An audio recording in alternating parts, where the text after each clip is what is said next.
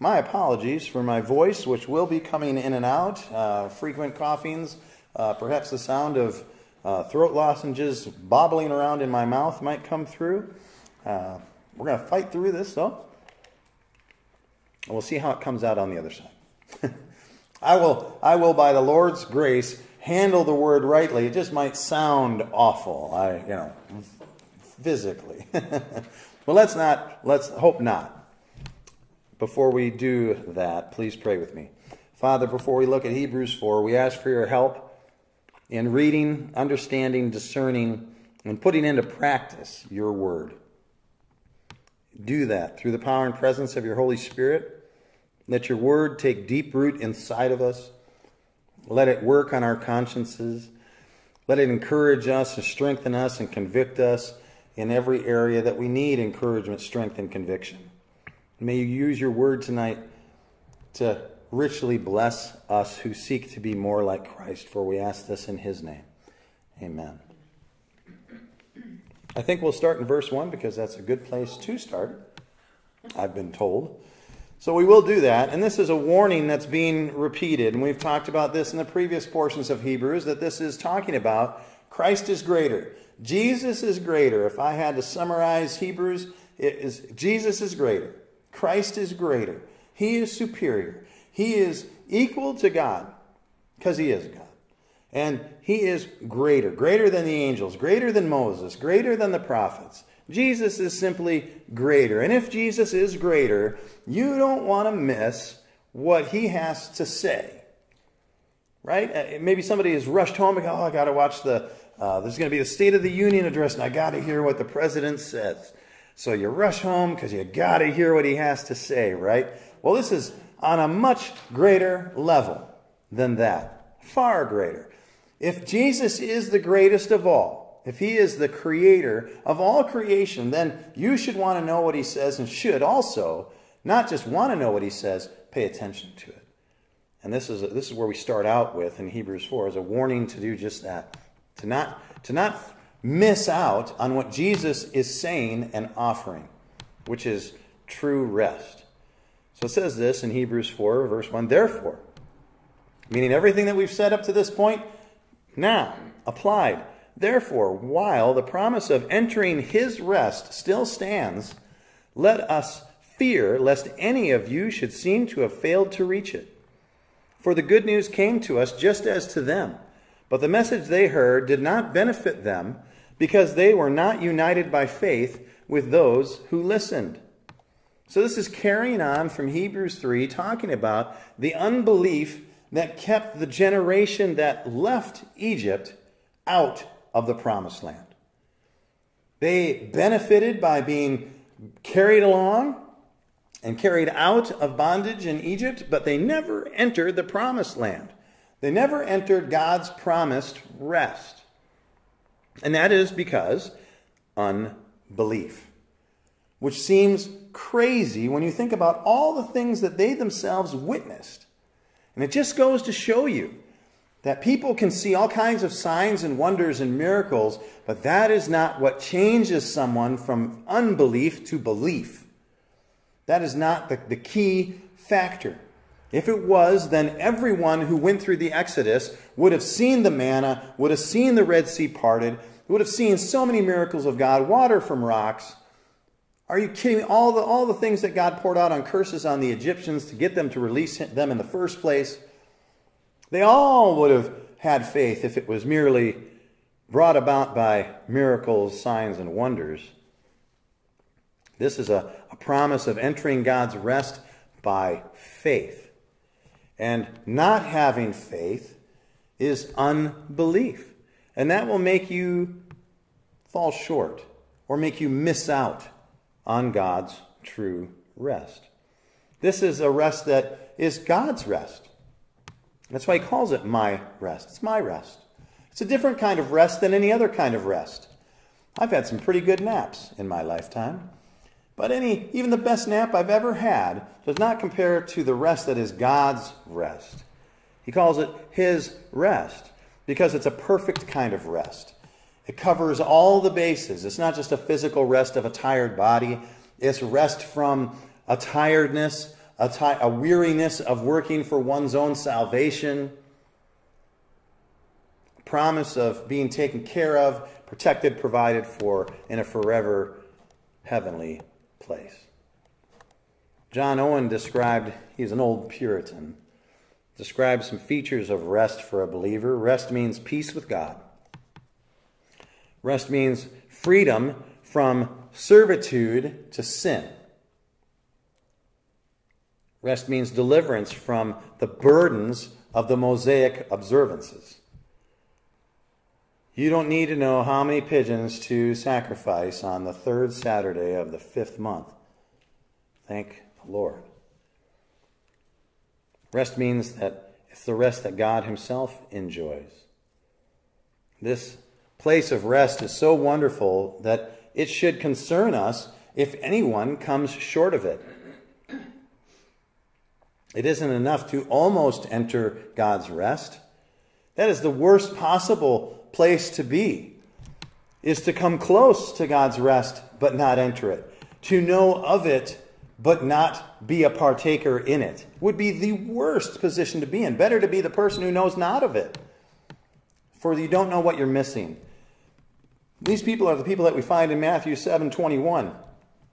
Those who profess Jesus as Lord, Lord. Yet Jesus tells them bluntly, I don't know you. We never had a relationship. And casts them away, calling them workers of iniquity or wickedness. We don't want to come close. We don't want to come short. We want to be in God's rest. For indeed, the gospel that is preached brings that when it is received. Hearing God's word isn't enough. You must receive it. Yes? Because you can preach the gospel to somebody, but if they don't receive it, if they don't believe it, they remain in their unbelief and will not enter into God's rest. All the people in ancient Israel heard the truth of God, but did not believe it. Not all of them. All of ancient Israel saw the miracles and the wonders that God did, heard God through his prophets, but yet did not listen. It didn't profit them a thing because ultimately they didn't receive what they saw and what they heard. So you can see and you can hear, but that's only step one. You have to have the other part, which is receiving it and believing it.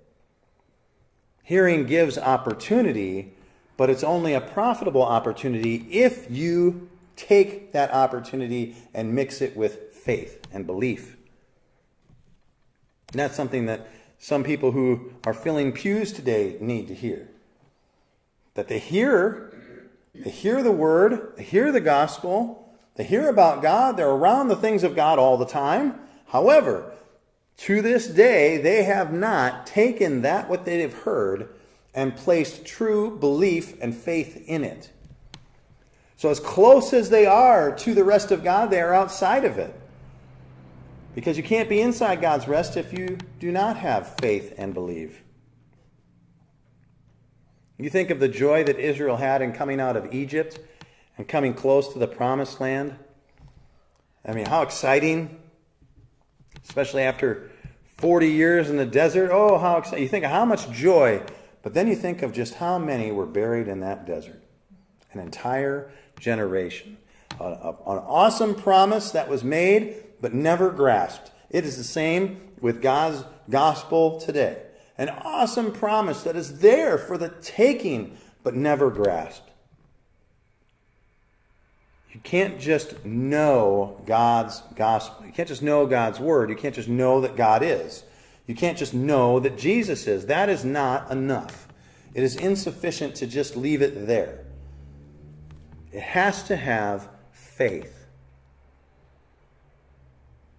The idea here is that, like the ancient Israelites who left Egypt, they had received God's message through the preaching of God's word. Some received it and found rest, others rejected it in unbelief and found death. It is the same to those that the writer in Hebrews is talking to in his time, and it's the same for us today. Verse 3 For we who have believed entered that rest, as he has said, As I swore in my wrath, they shall not enter my rest.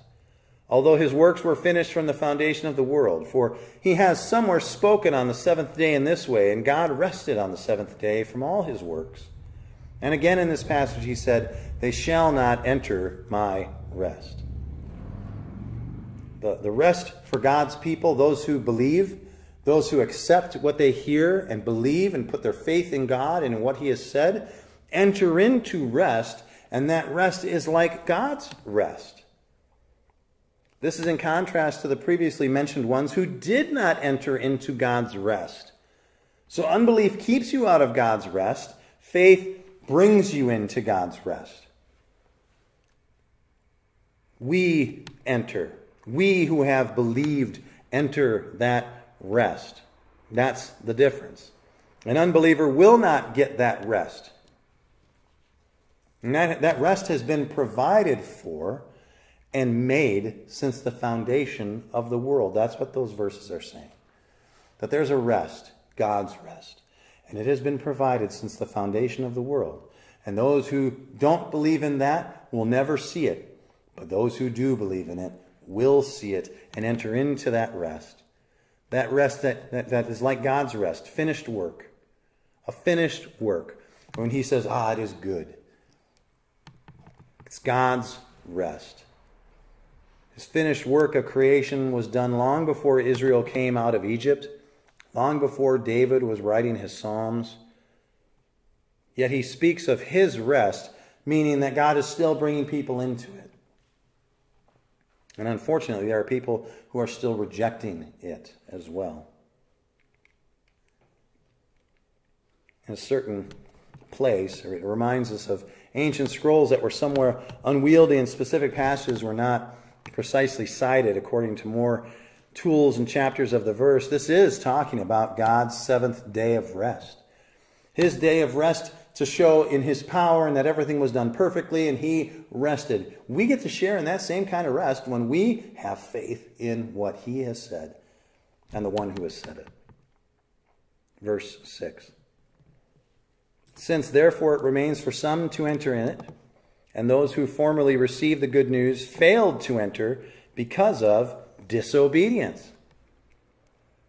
Again, he appoints a certain day, today, saying through David so long afterwards in the words already quoted, Today, if you hear his voice, do not harden your hearts.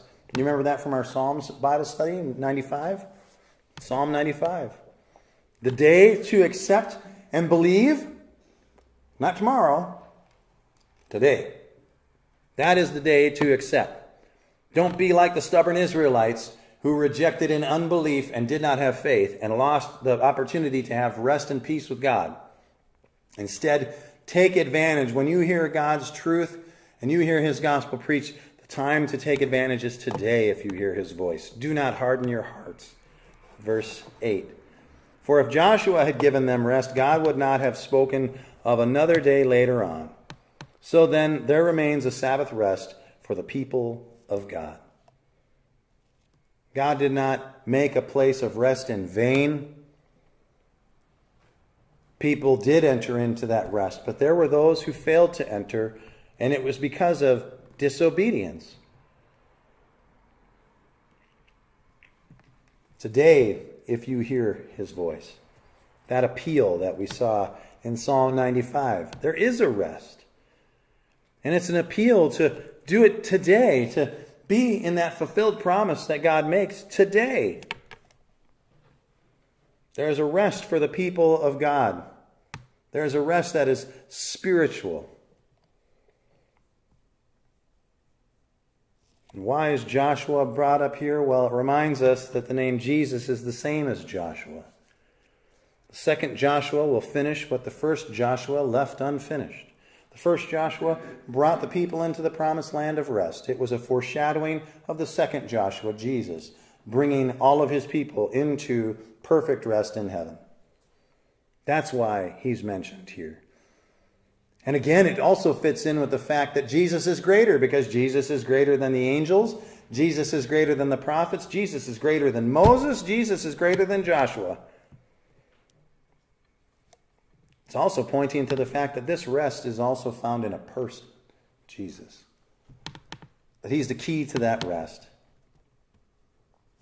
I don't know who said this, but I like this saying. If you meet a troubled, crying child and try and comfort them by giving them ideas and logic, you give them the idea of rest and peace using logic and ideas. It doesn't do much good.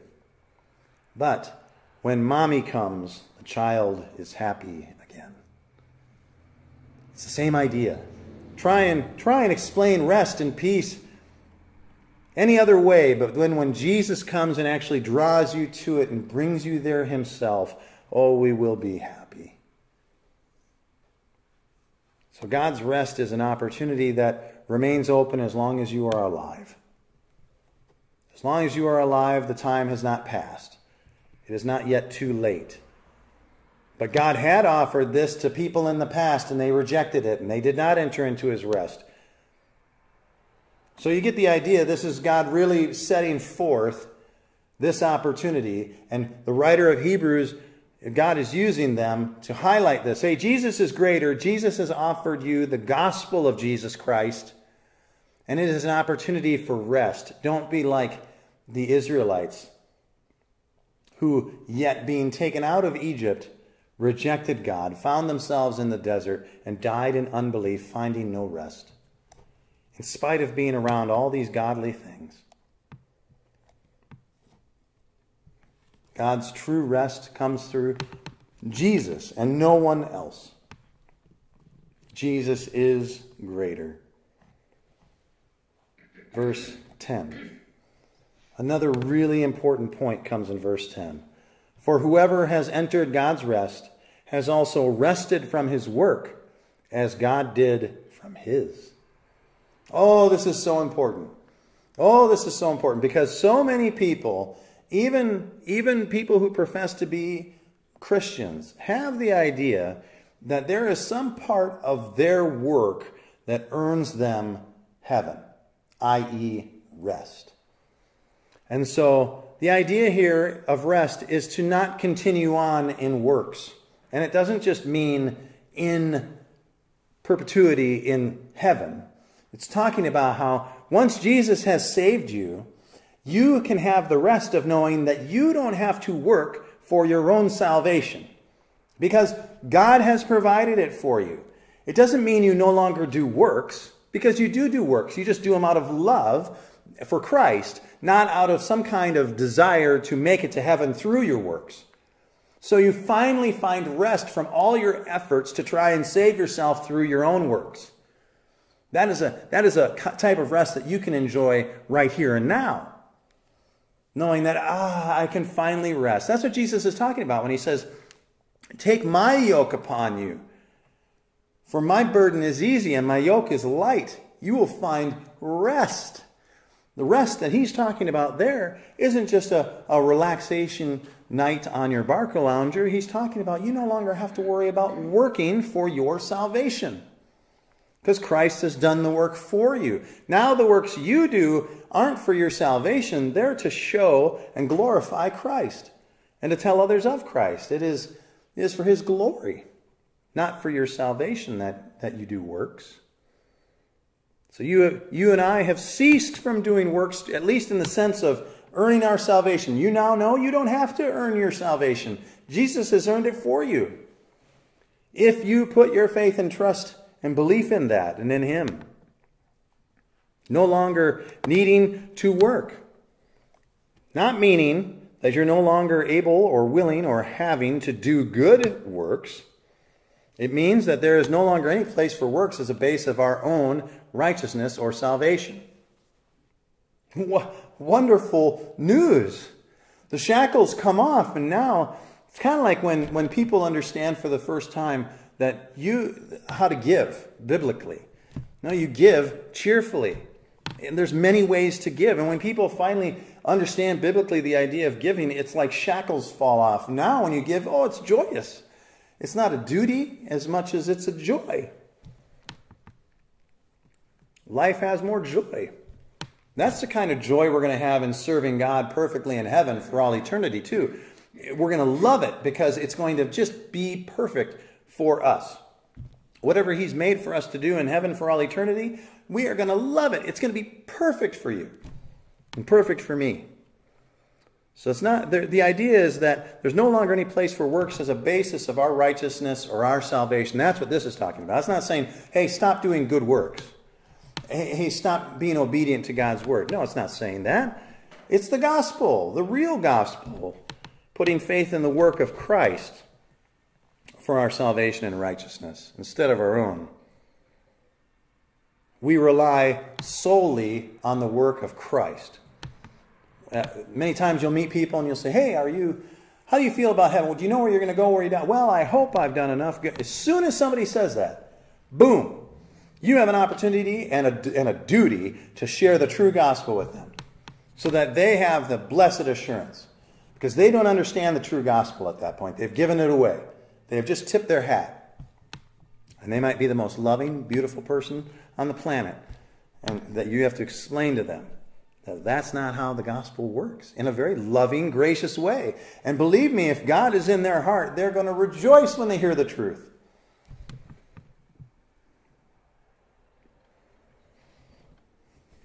The sensation from works is a base of, as a basis for our righteousness is the idea of the Sabbath rest. God rested from his work on the original Sabbath in Genesis 2 because the work was finished. You now can rest from your work because it is finished. The work of you having to work for your salvation or your entrance into heaven and God's rest is done. It is finished. Christ finished it for you on the cross. These next few verses are going to be emphasizing accountability. There is an accountability that comes to those who have heard the word of God. It is the word that must be believed and obeyed, and it is what people will be judged against whether they are obedient or disobedient. This is basically going to be what the next couple verses are about. Starting in verse 11. Let us therefore strive to enter that rest. Yeah, I'd say so, yes. Hey, let's try and enter that rest. Yes, we should strive for it. Effort. You're not just going to sit back and let it fall, and you're going to strive for it so that no one may fall by the same sort of disobedience, referencing again the ancient Israelites. Let us therefore, this is, uh, you, you must apply this truth. That's what it's saying. Let us therefore, you must apply this truth that we're talking about. Work hard and strive, be diligent to enter this rest that I'm talking about. God will not force that rest upon you. You must enter it. The rest is entered by faith. It's not a passive kind of faith, though. It is an active kind of faith. You rely on Jesus not passively, actively. You trust in Jesus' work for your salvation and your righteousness not passively, but actively. Lest anyone fall according to the same example of disobedience. If you're not active in that reliance upon Christ, in faith and belief, if you're not active in doing that, the result will be disaster. That person will fall according to the same example of disobedience. You don't want to be like the children of Israel in the wilderness, so close to everything, hearing about all these promises, perhaps even assuming that all those promises are yours, and then hearing the Lord say, Oh, depart from me. I never knew you. Verse 12 For the word of God is living and active and sharper than any two edged sword, piercing to the division of soul and spirit, joint and marrow, and discerning the thoughts and intentions of the heart. And let and no creature is hidden from its sight, but all are naked and exposed to the eyes of him to whom we must give account. Can't get around God's word. Best tool in the world. Perfect for a perfect sword, which is good for offense and defense. It's the Word of God that diagnoses the condition of man perfectly every time. It takes the heart and lays it wide open and discerns with perfect accuracy the spiritual health of said person. In the case of those that the writer of Hebrews is addressing first, they were too ready to follow in the failure of the children of Israel. They give up active, strong, and living faith. It's living. God's word is living and powerful. When I say God's word is living, I don't mean, oh, it changes with the times. No, that's not what that means. There has been many people who have twisted that and said, oh, God's word is living. Therefore, it breathes and it adjusts and it changes and it evolves over time as culture is evolving. No, the word of God is breathed out by God who is immutable, which means he's unchanging. And therefore, everything he says and does is also unchanging just like His Word. So when His Word exposes our weakness, our sin, our unbelief, it demonstrates its power. It demonstrates how powerful His Word is. It's constantly reminding us that we must submit to it. And when we do, we are far better off than to not submit to it. There is a ministry of God's Word. It is His Word. It is not just man's word on page. It is powerful. You see the workings of God's Word, and it attests to its genuineness by the transformed lives of millions of people since its inception till today. His Word brings healing, it brings fruitfulness of the Spirit, it brings healing and delivering from deliverance from sin. It cleanses us, it guides us, it counsels us. It is a source of strength. This is why we abide in it. This is why it's one of the things that John points out in 1 John that is an, an, evidence of a genuine believer, a love for God's Word. It is our source of spiritual growth. It is living and powerful. It is there is a spiritual power about God's word. And the writer of Hebrews is expressing this, and you know it because you have witnessed it and seen it and, and experienced it in your own lives. You know it is powerful. Romans 10 17 says that faith comes by hearing and hearing the word of God. That's talking about Scripture. It's not just a storybook or a book filled with myths. It is power. And it's not, the, a, it's not a good preacher that makes the Bible come alive. The Bible's already alive. Alive with power, meaning that there's something going on here. It's an active thing. It's not just some passive book. Every other book in creation is a passive book. But the Bible is an active one. It's like it's alive. It's, it's doing something. That's, that's what it means by it's alive. It's living. Yes, because it's always doing something. God's word is always on the move. It's always acting. It's always working. It's convicting. It's encouraging. It's strengthening. It's giving wisdom. It's, it's doing all those things.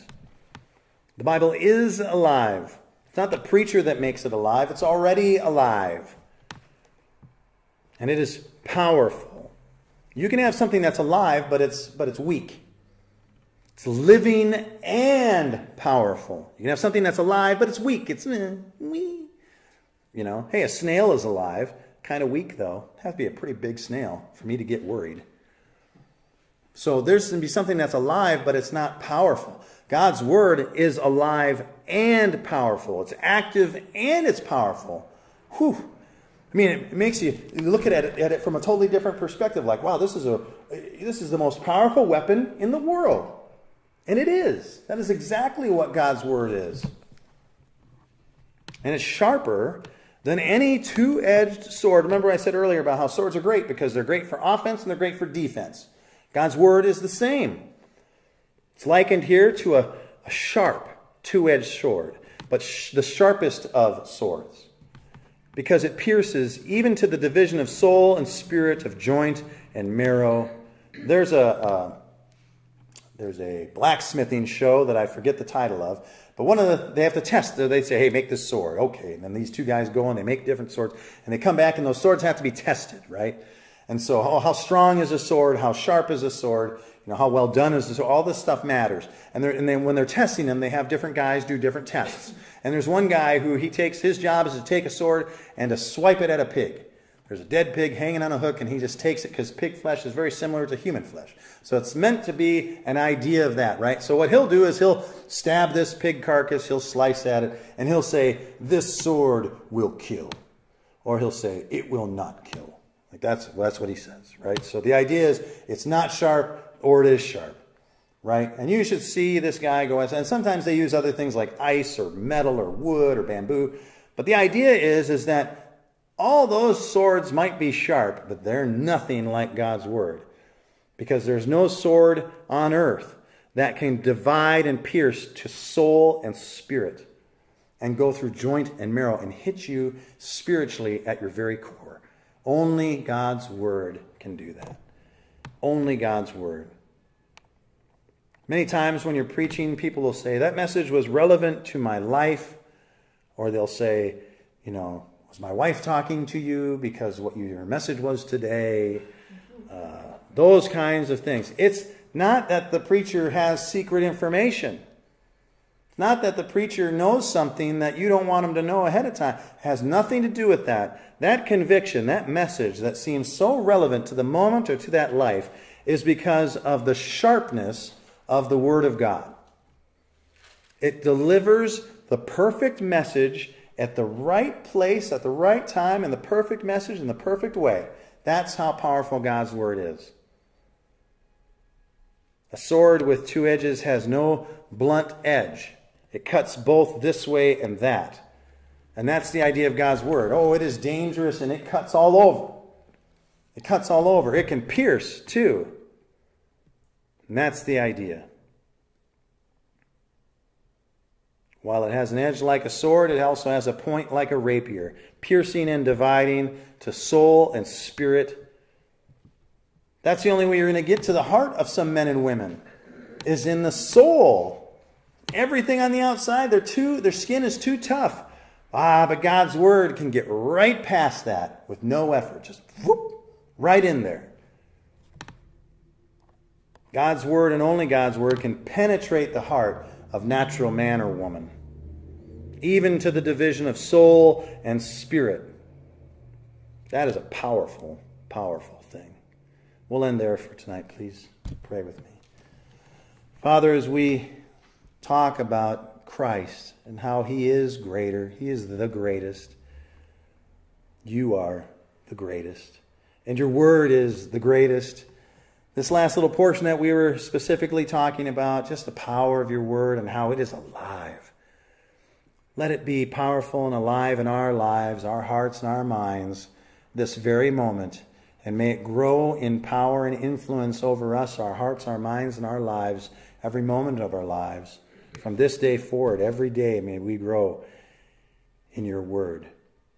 And Lord, may we also be encouraged by the promise of your rest, that by grace alone, through faith alone, in Christ alone, that we are assured to be able to enter into that rest, to know that is of great confidence and courage to us. And now let us also have a sense of urgency in sharing that offer with those that you have put around us, the offer of your rest through faith and belief in Jesus Christ and the gospel that speaks of him. Help us to do all these things and help us to be more like Christ, in whose name we pray. Amen.